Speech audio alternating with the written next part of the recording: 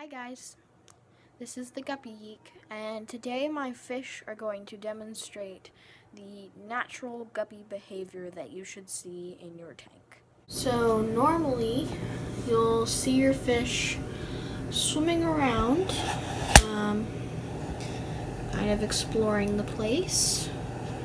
Um, sometimes they'll float up top. Um, and they don't really interact with the other creatures very much. Um, they won't hurt your shrimp at all. They won't really hurt your snail.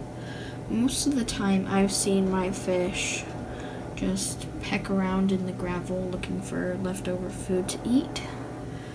Um, and they like to peck at this anemone decoration that I have and they like to peck over here. This is kind of like the boneyard for good food finds.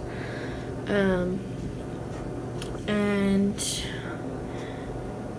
so right now they're just staying at the surface.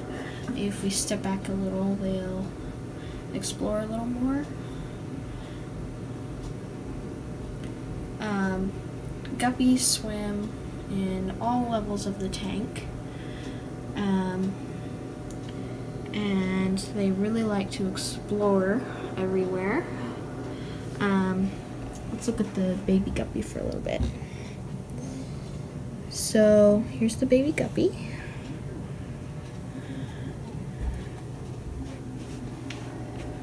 Um, seems like she's exploring the filter. Okay, here she is.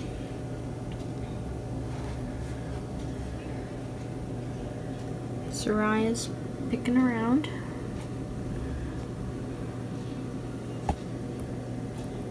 Soraya is really the most active one when it comes to pecking around and looking for food and stuff like that.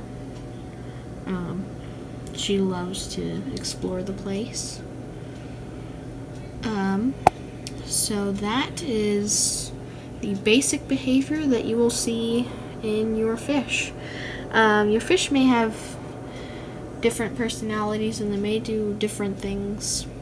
Um, but there are some behaviors that are bad and that mean that they are diseased.